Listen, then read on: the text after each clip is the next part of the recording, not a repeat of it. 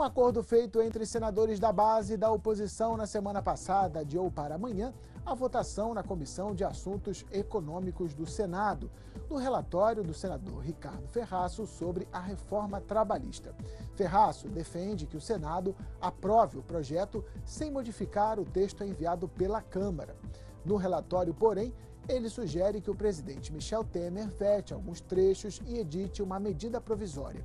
O conteúdo do parecer de Ferraço foi acordado entre parlamentares e o Palácio do Planalto.